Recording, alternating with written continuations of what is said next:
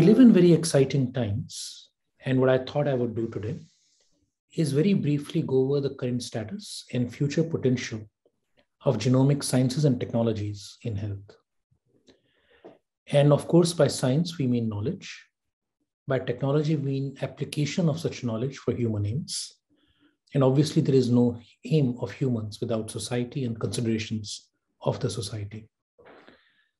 So, very briefly, let me start with something that I believe to be very important, which highlights the entire problems and the opportunities ahead of us. This is the most expensive drug in the world. It's called Zolgensma. It's a genetic disease drug, spinal muscular atrophy. It is also a relatively simple in terms of concept, difficult in terms of execution, a drug of oligonucleotides that, if injected in time, can prevent a child from future paralysis and severe disability. So, one of the questions one asks when one looks at drugs like this one injection early in life, and the disease is stopped, no injection, no diagnosis early in life, you can have a lifetime of great difficulties. So, what would it take in India for a baby born with this disorder to receive the diagnosis in a timely manner and also receive the treatment, which is difficult as of today. The one thing to realize is that economics drives this world in many ways, and health services will drive the future economy.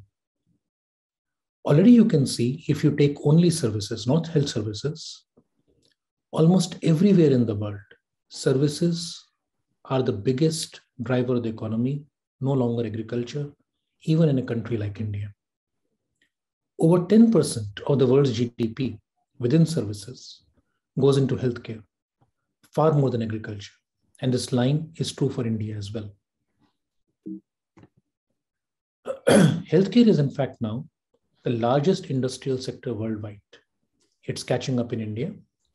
It has the highest rate of growth its domestic value may reach about half trillion dollars by 2025. The key drivers, of course, have been an aging population, growing incidence of lifestyle diseases. But we must not forget that technological advancements themselves are a huge driver of the health economy.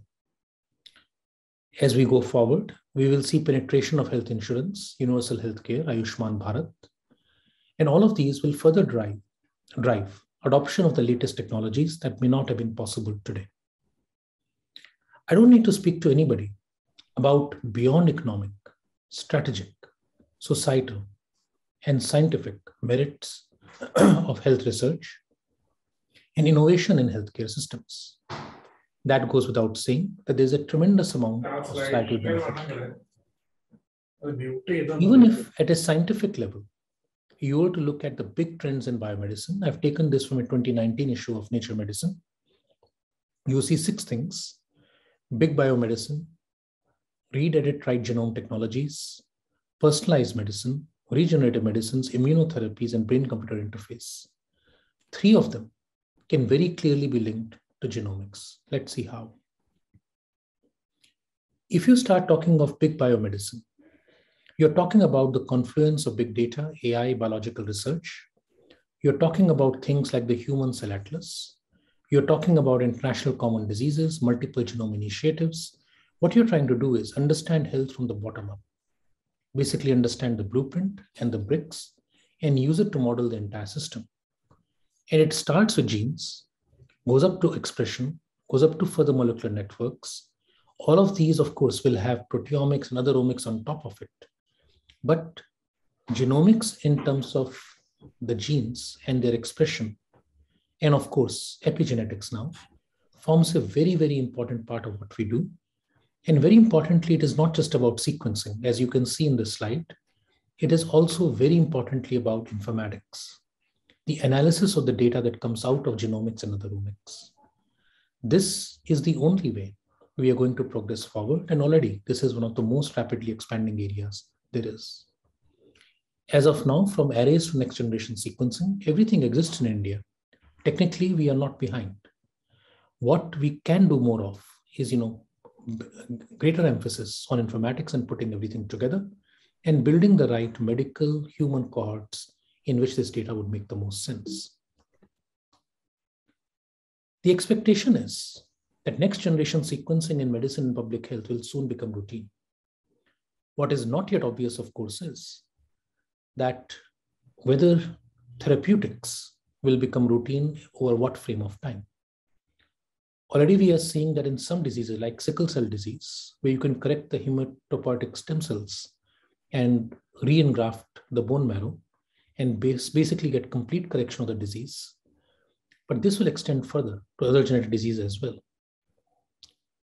We might find that gene therapies may even have applications in people without genetic disease, and I'll talk a little bit more about that later. At a hardcore level, it is now possible to create completely synthetic genomes. And these headlines of recent papers show the type of development that is occurring. It is already seen that in pediatric rare disease, rapid whole exome sequencing facilitates better care and ultimately reduces healthcare costs. I already talked to you regarding CRISPR Cas9 gene editing for sickle cell disease and beta thalassemia, but do remember these are hematopoietic problems and it's easier to correct them because you correct the bone marrow, these entire things correct. For more solid organs, it's a little bit more difficult, but there's nothing unachievable given the rate technology is expanding. I'm going to spend a little bit time on this particular example to tell you the directions we are going. I'm sure all of you know the people on the left, Charpentier and Doudna, who won the Nobel Prize for gene editing. Less people know the person on the right, Helen Hobbs, who discovered a natural mutation in PCSK9 as a beneficial mutation that lowers lipids and reduces cardiovascular risk.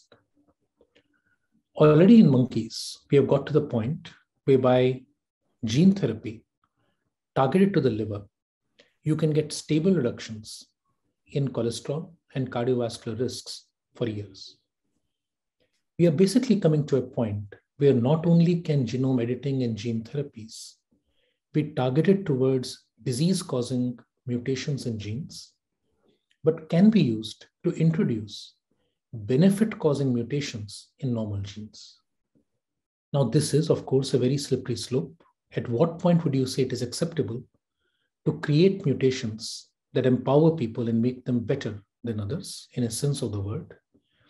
And at what point would we agree to introduce such mutations in a heritable way that future generations may become superior? Now, that is a tricky concept which is best left to intersection of science and humanities, but it's something that you must all think about when you look at the power and the potential, but also the challenges of genomics, particularly in terms of future equity. India has massive advantages in genomics, a large population size, a very diverse genetic pool, yet multiple small endogamous groups, to the point that if you look at relatedness of parents, how similar are mother and father of a child. India has some of the subpopulations where the similarity between parents is amongst the highest in the world, which means genetic disease must be more common in such communities, even without consanguinity. So basically, the study of genetic diseases, the study of treatment of genetic diseases, study in fundamental genomics are all expected to become increasingly important in time to come. At IGIB, we already have two programs that run hand in hand. On one side, we try to discover the genetic mutations in India causing diseases through next generation sequencing. On the other side, we try to deploy them towards actual tests for actual people using standard, cheaply available systems like PCR and pass them on to partner path labs like Lal Path Labs so that they become available to the population. My overall situation assessment is that India already has the basic technologies for most of genomics. There is sufficient local demand for these existing technologies. There has been a growth of an upper middle class with capacity to pay for higher value but potentially lower uncertainty wellness products. We'll come a little bit to that later.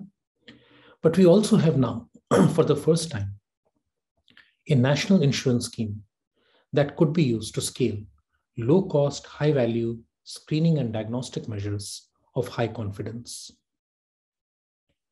All this comes alongside a global need for new technologies in genomics and genome informatics. So, those of you who are not technology oriented, but rather basic science oriented, will find a lot that remains to be done in genomics. And there is a clear need within India for gene therapy and genetically engineered cell based therapies that need indigenization.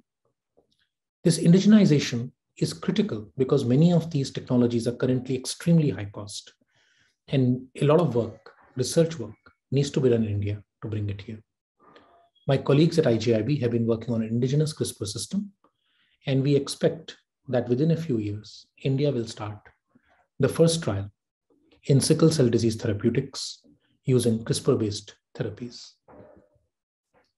So, if I were to say, what are the key areas in genomics S&T that are meritorious of immediate attention?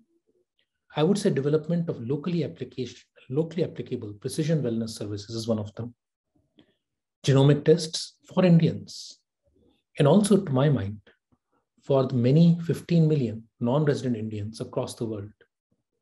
Tests that help you screen for inherited disease risks. I told you about subcommunities with very high degree of relatedness between parents. Actual diagnostics for genetic disease. Wellness genomics, in which you can give advice to people regarding what drugs, what lifestyle would suit them. An area I didn't speak much about in today's talk, but very, very important in genomics microbial metagenomics, genomics of the gut bacteria living in your body, which outnumber your human cells. Those bacteria are critical determinants of health, and people have shown in other studies outside this country that study of the microbiome can help give tailored nutrition advice regarding what may work better for optimal metabolism in people.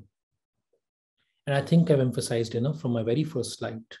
There's a tremendous need for better genomic therapeutics, gene therapy and genome engineering within India.